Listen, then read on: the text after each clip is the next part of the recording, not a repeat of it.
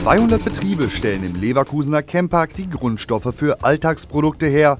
Möglichst umweltfreundlich und effizient. Doch wo gehobelt wird, fallen Späne. Abfall wird überall produziert. Damit der Sonderabfall keine weiten Wege zurücklegen muss, befindet sich unweit vom Chempark das Abfallentsorgungszentrum. Nur durch den Spaghettiknoten vom Chemparkgelände getrennt, werden in Bürich Abfälle aus der Produktion entsorgt und verwertet. Für Außenstehende ist es schwer, einen Blick auf die Anlagen zu erhaschen. Diese sind gut gesichert.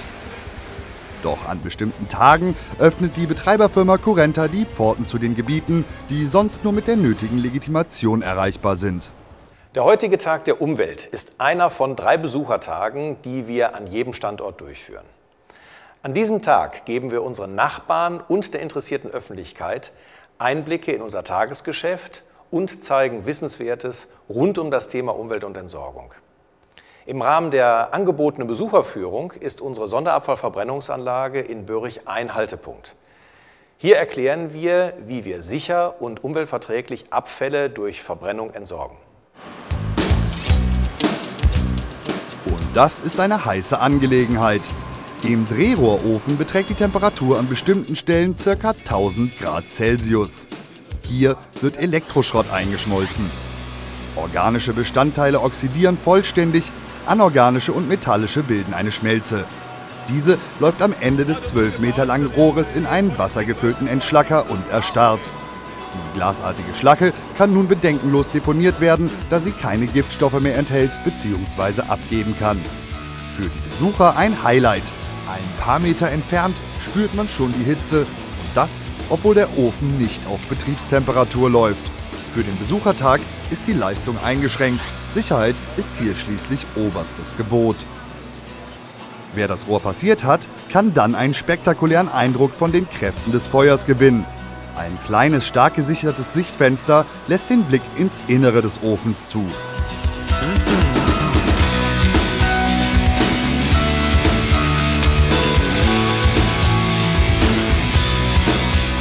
Der Drehrohrofen ist aber nur ein Bereich der Sonderabfallverbrennungsanlage. In den Dampfkesseln werden weitere Abfälle verarbeitet. Die Abwärme aus der thermischen Behandlung des belasteten Mülls wird übrigens genutzt, um den Camppark mit Dampf zu versorgen. Über Rohrleitungen wird dieser zu den dortigen Produktionsbetrieben geleitet, für die Produktion oder zum Heizen. Jährlich spart man somit Energie ein, die dem Wärmebedarf von rund 40.000 Haushalten entspricht. Der Energiegehalt der Abfälle hat auch einen weiteren Vorteil.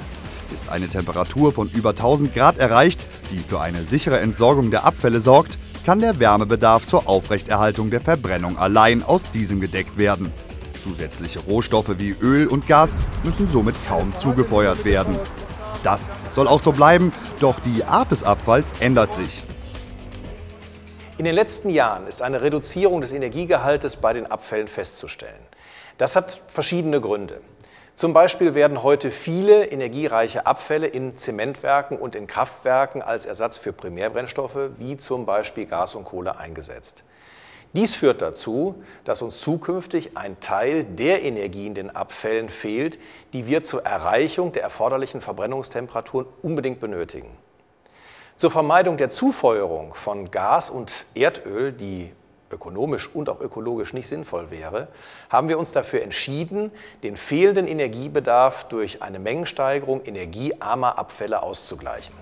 Doch bedeutet, vereinfacht gesagt, mehr Abfallverbrennung nicht auch mehr Schmutz?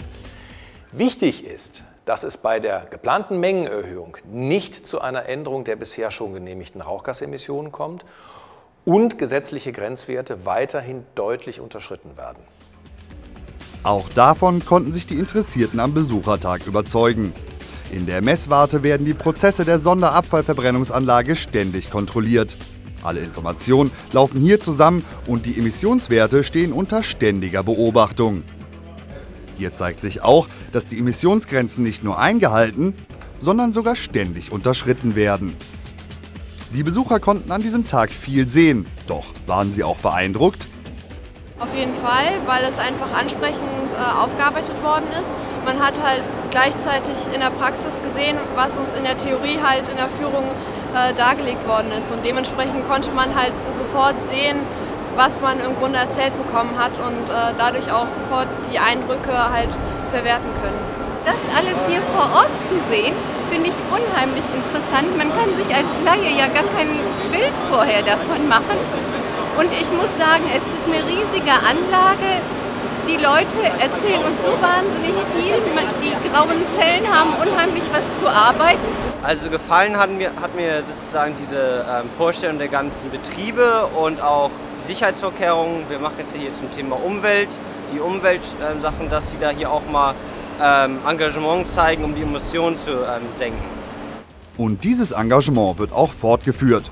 Genau wie jenes, Nachbarn und Interessierten einen Einblick in die Arbeit des Campparks und der angeschlossenen Anlagen zu geben.